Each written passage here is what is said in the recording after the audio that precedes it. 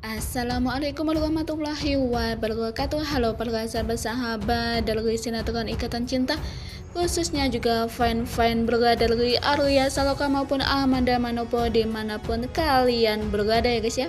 Semoga selalu diberikan kesehatan dan tentunya juga selalu dalam lindungan Tuhan. Dan kini kembali lagi dengan Mimi nih guys yang akan selalu memberikan kabar-kabar terbaru dan kabar kali ini pun datang dari Amanda Manopo ya guys ya yang mana seperti yang sudah diketahui bahwa kini Amanda Manopo tengah dibaptis nih namun sebelum lanjut nih guys, bagi kalian yang baru saja menemukan channel ini, Mimin mohon bantu support channel ini dengan tekan tombol subscribe-nya terlebih dahulu dan tak lupa juga nyalakan lonceng notifikasinya. Tujuannya agar kalian semua tidak ketinggalan kabar-kabar terbaru ya guys ya seputar sinetron Ikatan Cinta.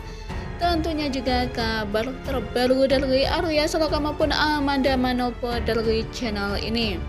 Nah guys saat Amanda Manopo tengah dibaptis eh, para antar Jagat Raya pun gagal fokus dengan Raut wajah asli Amanda Manopo ya guys ya yang mana terlihat tugas Amanda Manopo yang tanpa make up sungguh sangat masih terlihat unyu-unyu sekali ya guys ya wajah dari Amanda Manopo tersebut.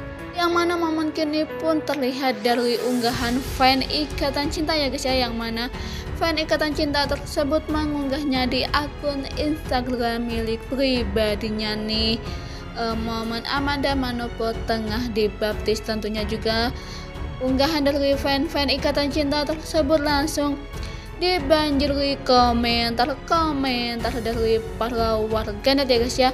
Dan komentar-komentar dari para warganet pun akan memuji wajah natural dari Amanda Manopo tersebut nah guys bagaimana menurut kalian saat mengetahui wajah natural dari Amanda Manopo? Silahkan tulis komentarnya di kolom bawah ya guys ya. Sekian kabar kali ini.